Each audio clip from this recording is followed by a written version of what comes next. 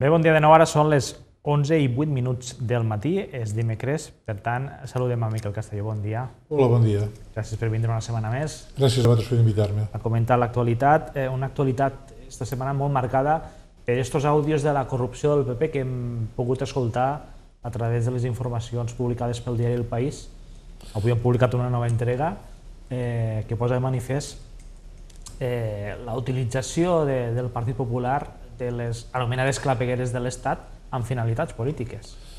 Sí, sí, eh, a mi me sembla que és, de les coses eh, de màxima gravetat que han passat eh, des de que es va assolir la democràcia, recuperar la democràcia aquí a l'estat espanyol, perquè les maneres d'actuar i les persones a les quals implica eh, trenquen aquella, eh, aquella màxima que és que eh, mm, tenim dret a tindre eh, una vida normal sense ser perseguits eh, per l'Estat eh, sense cap mena de prova, investigats, eh, escoltats, eh, inclús eh, conspirats per a posar-nos a la presó. Eh, és molt fort, no?, perquè eh, jo deia aquests dies que això és, sí sembla molt a, a les pel·lícules aquelles de, de la màfia, el padrí o les sèries com el Soprano, eh, en una particularitat que aquí el que fa del padrí és una persona que treballa per a l'Estat, és un comissari de policia i que no té cap problema en eh, tocar eh, aspectes molt sensibles, persones molt sensibles d'esta mateixa estructura de l'Estat. Aquí parlem d'altres policies als quals eh, s'aparta eh, inclús ascendent-los per a que no investiguen sobre els bloquea, se parla de jutges que al cap del temps acaben promocionats a altres tribunals més alts, el Suprem, el Constitucional, eh, se parla pràcticament en un llenguatge mafiós de parar eh, allò que ens pot fer mal i tot això, eh, eh, instrument que és utilitzat eh, de, de, de la claveguera, de la claveguera més profunda de l'Estat, utilitzat per un partit que governa, que governa en aquests moments, que té aspiracions a tornar a governar. No? És dir, és molt curiós que qui té les converses en el comissari Villarejo sigui la secretària general del Partit Popular, que li parla en un clima de franca eh, de franca amistat, eh, que a més a més és, eh, en aquells moments, si no recordo malament, era ministre de Defensa. O, po o poc després. Eh, i que parla de, bueno, de, de fer desaparèixer unes proves que els impliquen en delictes que per a qualsevol persona serien, serien importants, però per a persones que a més a més estan al govern ho són encara molt més. No? A quin punt hem arribat?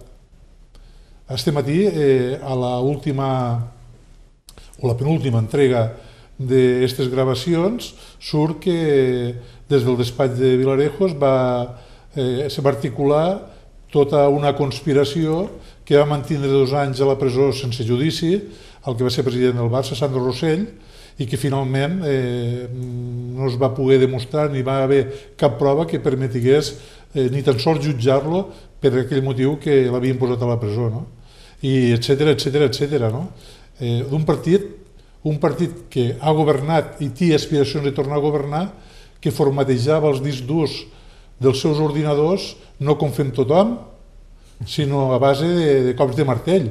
I no un cop de martell, sinó molts cops de martell per a que no quede rastre de les proves que podien trobar-se en aquests discs durs. Tot això és d'una màxima gravetat. I és una màxima gravetat perquè mm, la veritat és que posa el sistema en molt de perill. És dir, hi ha moltíssima gent, probablement els que menys formació tenen, que acaben pensant que això és un problema de tots, que això, això ho, fa, ho acaben fent tots, que, que la corrupció és un problema eh, eh, que és inherent a les societats nostres, no? i per tant el que fan és anar-se apartant. I hi ha uns altres, els que els importa molt menys eh, eh, que l'Estat estigui sanejat, que sigui, que sigui mm, un model eh, que poquet a poquet van aconseguint rèdits. I, I per tant ens ha de preocupar molt, tant per una banda com per l'altra. Ens ha de preocupar molt perquè si continuem així eh, Bueno, mm, no sé, eh, no sé, a mi eh, eh, eh, ho he dit aquí en, eh, en aquestes xerrades moltíssimes vegades, el, el creixement de l'ultradreta em preocupa molt, el, el creixement d'un discurs eh, eh, molt preocupant eh, que llancen dia sí dia també em preocupa molt, eh, bueno, no sé on arribarem, però francament aquestes eh, converses que s'estan destapant estos dies eh, haurien de tindre una resposta i crec lamentablement que no, que no la tindran. De fet, fa uns mesos a la, a la Dolores de Cospedal el tribunal va dir que no, no havia sigut capaç de, de trobar-li cap prova que conegués tot allò que estava passant de greu al seu partit i que a més a més hi havia, ja li havia portat alguna condena de corrupció. No? Bé, mm, la veritat és, és bastant desesperant. No? I jo el que demano és que la gent tingui confiança, eh, que tingui confiança perquè tot no està igual de podrit i que el sistema es pot salvar i es pot salvar a base de que aquells que creiem que aquestes coses són absolutament denunciables i portades davant dels tribunals i que han d'arribar fins a l'última conseqüència, això ho podem aconseguir. I si no, ja no ens queda res més. I per tant el que hem d'esperar serà segurament molt pitjor del que tenim.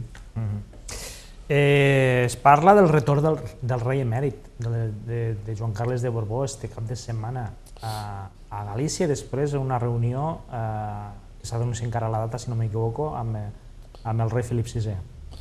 Aquesta és una altra.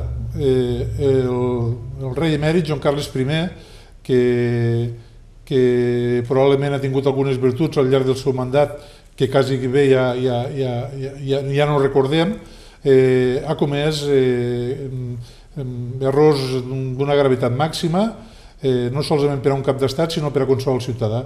Este senyor, eh, eh, aprofitant el seu càrrec, ha, ha rebut comissions que, que s'ha demostrat que eren il·legals, eh, ha enviat diners a l'estranger per tal d'evitar de, pagar impostos, cosa que ell mateix ha reconegut eh, fent front a les seves responsabilitats pecuniàries, però és un senyor que eh, ha marxat eh, ha marxat d'Espanya voluntàriament, tot i que eh, no podia ser jutjat gràcies a un article de la Constitució que a mi eh, em sembla que fa molt de temps que està de més, que era la seva inviolabilitat. Ningú pot estar per damunt de la llei i menys encara una persona eh, que estant al front de les màximes responsabilitats del país té eh, eh, l'obligació de ser el màxim curós possible i un exemple per a tots els ciutadans. Bé, mm, la veritat és que des del moment que va deixar de ser eh, cap de l'Estat i, i a més a més hem anat coneixent eh, totes aquestes eh, eh, corrupteles a les que presumiblement ha estat vinculat, eh, aquesta persona ha deixat d'interessar-me. No? Però la veritat considero que, que si tingués una miqueta de responsabilitat i vergonya, eh, tornar del seu exili daurat eh, a Abu Dhabi a un paradís que li permet viure com, com un rei, que ja no ho és, eh, tornar aquí i quasi bé fotent-se'n per a vindre a veure unes regates i per anar a disfrutar d'una ciutat que ja ha disfrutat de tres vegades i que ell considera la màxima meravella com és Sant Xenxo, eh, bueno, és quasi bé fotre-se'n de, eh, de tothom. No? I, I això eh, fa mal a, a la corona, sense cap mena de dubte, fa mal a, a, al seu fill, a, a, a l'actual cap de l'Estat, però també fa mal, molt de mal al país i a la democràcia. Vull dir, si una persona que ha sigut rei i que ha fet totes les eh, malifetes que ha fet, eh, se pot passejar eh, així, en aquella gallardia que el, que el caracteritza per a veure un, una regata, eh, inclús fins i tot se parla de poder-la tripular o en fi, eh, me sembla que, que és una aberració que sumat a tot allò que està passant eh, fa mal, fa mal i que no deixa eh, el país eh, en un bon lloc i, i, i a mi em sap molt greu, no?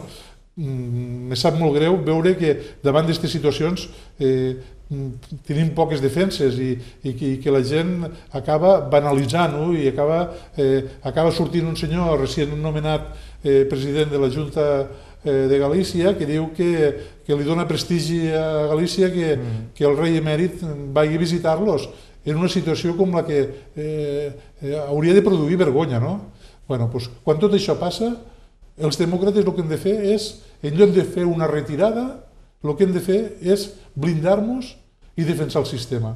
I dir que així no, que això no val. I que el que hem de fer és, mm, en aquells partits que pensem que poden defensar millor eh, les nostres idees i que poden defensar millor el sistema, se'ls ha de donar un vot de confiança. Perquè si no, mm, bé, eh, el futur, repetixo, com deia el tema anterior, eh, el futur no és gens, eh, gens agradable eh, que ens pot vindre. Uh -huh. Se parla molt aquests dies també de la reforma de la llei de l'avortament, eh, una reforma, una sèrie de, de mesures eh, que, que han emprenyat molt a, als mitjans de, de la, la dreta. dreta no? sí. Jo, eh, a veure, el tema de, el tema de l'avortament sempre l'he tractat amb molt de respecte perquè entenc que hi ha persones que des d'unes profundes conviccions ètiques, morals i religioses eh, pensen que això és, eh, eh, és una mena de, de comportament eh, imperdonable i que, i que no s'hauria de permetre. Mm, he sigut respectuós en tothom, però a la vegada he sigut conscient de que l'acte d'avortar és un trauma, és un trauma molt gran, eh, per a, bàsicament per a, per a les dones. No? Mm, el, algú dirà el seu context familiar, val, però bàsicament per a la dona que el té que patir, per a la dona que el té que assumir, per a la dona que té que acabar eh, realitzant-lo. Bé, mm, com tantes coses que hem anat guanyant eh, en els darrers 40 i pico d'anys, això és un dret. Per a mi, l'abort és un dret, eh, com ho són el dret a tindre eh, un ensenyament universal, gratuït, de qualitat i públic, o la sanitat, o com és eh, el dret a poder-se eh, separar de forma legal sense tindre que passar eh, per l'àmbit religiós quan un no conviu bé amb la seva parella, com és el dret que una persona té a ser homosexual i reivindicar el seu dret també a poder tindre una parella d'acord amb les seues conviccions sexuals. Mm, per tant, forma part dels drets, en cap cas de les obligacions. I el que no poden fer els, eh, me sembla, aquestes persones que, que, que, que estan en contra d'aquest dret és exigir que es complisquen les seues creences. Per tant, des d'aquesta perspectiva, sóc comprensiu que com a dret que no implica obligació a ningú d'avortar com tampoc de, de, de fer-se en cap dels altres drets, eh, és, és un dret que, que, que en el pas dels anys és necessari que es vagi perfeccionant. De fet, la modificació de la llei de l'abort des de que es va aprovar en primera instància eh, ha tingut diversos, diversos passos endavant. No? Ara, el que es planteja, fixa't, el que es planteja és que puguen avortar noies de 16 i 17 anys sense necessitat de tindre eh, autorització paterna. Unes noies de 16 i 17 anys que poden treballar, que es poden casar, que tenen dret a tindre sex de, sexe de, de forma lliure. Uh -huh. Clar, de què estem parlant? Pues de, de posar al dia una llei que si permet totes aquestes coses, si permet que aquestes noies de 16 i 17 anys puguen ser mares, per què no els ha de permetre que puguen decidir sobre el seu cos i sobre el seu futur vital, si ho creuen convenient? Deixem que la societat avanci. Jo almenys ho veig així. I, i l'altre tema que es planteja al voltant d'esta llei, que també ha aixecat força polèmica, i que pareix mentira que hi haguen dones que, que, que surtin a dir, com, com la presidenta, la ínclita presidenta de la Comunitat de Madrid o la, o la, o la, la senyora esta que es presenta eh, com a candidata a, a la Junta d'Andalusia de Vox, que surtin a dir sobre el tema de, de les baixes de les baixes laborals eh, retribuïdes per als dolors de regla, que, de menstruació, que surtin a dir que això són xorrades que no importen a ningú. Importen eh, a, com a mínim a la meitat de les dones que estan en, en edat de tindre fills. Jo, a casa meva, eh, un àmbit envoltat de dones, eh, he viscut aquest problema. I que la legislació laboral no tingués contemplada com a baixa els dolors de menstruació que tenen les dones és una vergonya. Mm. Que haguéssim arribat fins aquí sense que això formés part de la, de, dels motius de baixa laboral mm. és una vergonya, una vergonya, perquè han hagut moltes dones que han tingut que anar a treballar de qualsevol condició perquè inclús pareixia que era una vergonya eh, que, que tenien que sentir vergonya de, de, de la seva situació física de salut. No? Eh, me penso que és un avanç i que ja està bé que aquests avanç s'acaben produint sempre quan hi ha partits que pensen que és, és més important eh, eh, que les persones poguessin tindre drets que no eh, carregar-nos en, en obligacions, com alguns intenten fer veure que, que fan els governs progressistes. Jo crec que anem pel bon camí i, per tant, em satisfà que aquestes lleis, eh, que signifiquen un avanç, sobretot per a la igualtat entre homes i dones, se vagin aprovant en bastanta naturalitat i en l'oposició radical sempre dels partits que després se n'acaben aprofitant. Aquesta és una altra. És dir, aquells que van estar en contra del divorci, van estar en contra de l'abort, estan en contra de que se retribuïsqui a les dones pels dolors de menstruació, etc etc, són els primers que se n'aprofiten, se n'han aprofitat d'estos drets. I això se li diu, en fi, a tots els àmbits eh, socials se li diu hipocresia, màxima hipocresia, eh, d'estos partits que quan arriben al poder, curiosament, no acaben eh, tocant aquestes lleis. Uh -huh. Canviem totalment de registre, me consta que vas seguir la final d'Eurovisió.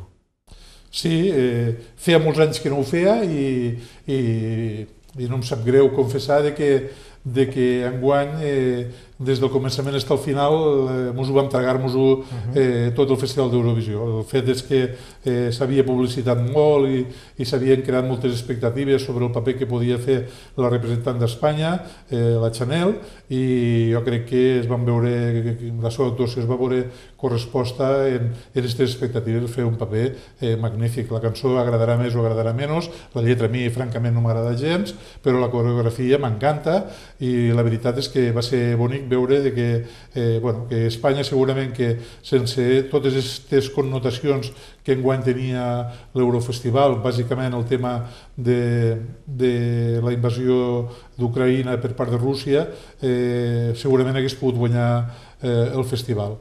Mm, sap greu també eh, totes les polèmiques als voltants d'estos festivals, eh, polèmiques la major part de les vegades eh, ultranacionalistes, de defensa d'unes banderes d'una manera desacomplexada, d'una manera, eh, en fi, que a mi em fa molta vergonya i que acabéssim discutint si una, una noieta que va néixer a Cuba va vindre a Catalunya als 3 anys i que als 16 anys se'n va anar-se'n a perfeccionar eh, la seva carrera artística a Madrid és d'aquí o és d'allà. Això fa molta vergonya. Vull dir, al final eh, hem de parlar del festival, de la música, de, de, de la part artística i, i les banderes deixar-les per, a, per a unes altres qüestions. És que al final eh, eh, este permanent, eh, estes permanents ganes de lluir la nostra bandera, etc etc, són les que provoquen situacions tan desagradables com, com la que viuen els ucraïnesos i les ucraïneses. No? Uh -huh. eh, si tots fóssim una miqueta més del món, eh, no caldria eh, recuperar debats de si hem de tindre més armament, si hem de gastar més en armament o no, sinó eh, eh, la voluntat de ser tots una miqueta més persones. No? I per tant, des d'aquesta perspectiva, doncs, bueno, vull dir, eh, vaig, eh, van haver unes quantes cançons que em, que em van agradar, eh, eh, quasi totes les que a mi em van agradar són les que van tindre menys vots. Eh, jo sóc un romàntic impenitent i van haver cançons com la de Polònia que em va agradar molt, la d'Austràlia també em va agradar. bueno, eh, en fi, eh, allò que diem, parlem d'Eurovisió que no ens farà eh, gens de mal eh, i, i és preferible parlar eh, de morts i ferits que es produeixen tots els dies com a conseqüència de coses que són molt més desagradables. I tant, ja ho crec. La música i l'esport eh, fan un món millor, no? Eh, esta setmana pot ser una setmana molt bona, una setmana gran per al Barça, no pel partit que jugarem a les 10 de la nit contra el Villarreal, Eh... és demà? Fixa't. Diumenge, diumenge. Ah, diumenge pensava que dius demà. No, diumenge a les 10 és l'horari que ens han sí, posat sí, sí, eh, sí. Per, per jugar l'últim partit de Lliga al Camp Nou eh, contra el Villarreal. Serà gran, eh, jo crec que sí, per la, per la final de la Champions eh, del Barça femení i també per la, per la Champions de bàsquet. Sí, per la final, final Four que es juga a Belgrat. Sí, bueno, tenim una setmana plena de, eh, d'aconteixements esportius que ens poden fer o més feliços o més desgraciats. Eh, demà dijous eh, se juga la primera final de la Champions, de la Final Four de la Champions, eh, de bàsquet entre el Madrid i el Barça. En principi haurien de dir que el Barça és favorit perquè enguany eh, crec que han jugat sis vegades eh, i de les sis, eh, cinc cops ha guanyat eh, el Barça, però eh, aviam, jugar contra el Madrid és jugar contra, sempre contra un gran equip, eh, en bàsquet també, i, i pot passar de tot. Per tant, bueno, estarem davant del televisor, eh, animant eh, des de casa perquè guanyin els nostres, però serà un repte guanyar aquest primer partit i si ens classifiquem per a la final un altre repte perquè els dos equips que, que poden jugar-la en contra nostra també són dos grans equips, un grec i un, i un turc que són eh, molt bons equips europeus i que a més a més eh, l'equip turc ja ha guanyat a, a tres ocasions. No? I, I el dissabte la gran final de la Champions femenina, el Barça i el, el Lyon, els dos millors equips eh, dels últims anys de futbol femení. Eh, també ens agradaria culminar aquesta magnífica temporada que estan fent eh, les noies del Barça en la Champions. Enguany jo crec que serà més complicat que l'any passat. Eh, el Lió és el millor equip que, que l'equip anglès que van jugar l'any passat i les nostres penso que arriben una miqueta cansades. Eh, vaig veure el partit, eh, l'últim partit de Lliga contra l'Atlètic de Madrid, que van guanyar 2 a 1 i, i francament me dona la sensació de que estan eh, una miqueta esgotades física i mentalment. Veurem si aquesta setmana que han tingut per a poder-ho preparar eh, han tingut capacitat per a recuperar-se i bueno, en tot cas eh, desitjar que sigui un partidàs com el que va ser l'any passat i si a més a més el podem guanyar doncs serem immensament feliços perquè aquestes noies s'ho mereixen tot vull dir, eh, per tot el que han fet, guanyin o no guanyin eh, l'orgullosos que ens ha fet sentir els que ens agrada el futbol eh, és molt gran i el que ens agrada els, els, els deports de, que practiquen eh, les dones també pues, la veritat encara més. Per tant, eh, desitjar el millor a uns i als altres i la setmana que ve, eh, si Déu vol, en, en parlarem, per a bé o per a mal, en parlarem eh, d'esta setmana que podria ser gloriosa. Esperem que sigui així i el Barça masculí eh, comença a planificar la propera temporada. Sí, a veure, eh, el partit del Getafe va ser eh, una autèntica vergonya, eh, que va acabar com tenia que acabar, en un empat, que era el que beneficiava els dos equips, però portem ja molts partits en els quals el Barça no ens aporta, veure jugar al Barça no ens aporta res. Veurem si la capacitat econòmica per poder fitxar permet crear un equip eh, que tingui expectatives d'èxits l'any que ve. Eh, jo ho veig com a molt complicat perquè perquè pensar en aquests fitxatges que fèiem fa uns anys, que ens gastaven 80, 100 milions, això és absolutament implantejable, eh, però bueno, veurem si la directiva del Barça, que sembla ser que està negociant diversos convenis per vendre eh, drets d'imatge i màrqueting, etc., eh, ho pot aconseguir i en això podem muntar un equip. Eh, un equip, el d'enguany, al qual eh, hi ha diversos jugadors que no hi tenen cabuda i que han de marxar, eh, els agradi que o no. Mm, no ho sé, eh, haurem d'estar pendents de com passa tots els estius, de, de veure eh, a qui van fitxant. De moment sembla que en tenim dos, el, el defensa del, del Chelsea, Christensen, i un jugador, crec que és de la Roma o de l'Inter, que es diu Casey, uh -huh. eh, un centrocampista, però és que hi ha molts de llocs a cobrir, laterals, eh, centrals, eh, un delanter centre que marca referència, seria il·lusionant poder fitxar a Lewandowski, perquè tot i l'edat que té és un killer de l'àrea que marca molts de gols cada any i bueno, eh, els barcelonistes tenen tot l'estiu per a poder il·lusionar-nos o no en tot allò que ens vagi important. Sí, perquè la Lliga crec que comença el 14-15 d'agost, però encara el mercat se tancarà el 31 d'agost. Per tant, sí, serà un... segurament fins a última hora ens tocarà patir. Per al Barça serà un estiu molt llarg en quant al tema de tancar eh, fitxatges perquè la situació econòmica és la que és i, i bueno, ja, ja, ja en parlàvem la setmana passada, no?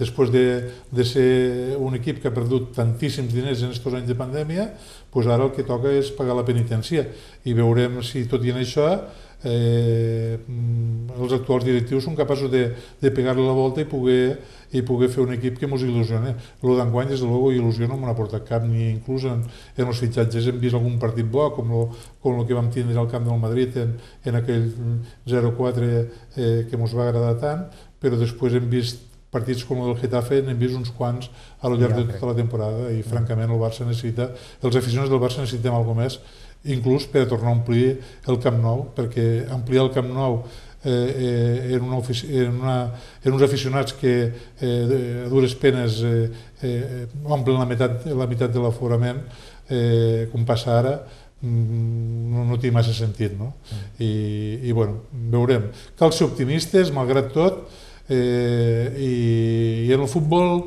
eh, com dia, i com en tantes coses, com dia Martí Pol, tot pot passar i tot és possible. Miquel Castelló, moltes gràcies per vindre una setmana més al programa i fins la setmana que ve. Moltes gràcies a vosaltres. Bon. Bon dia.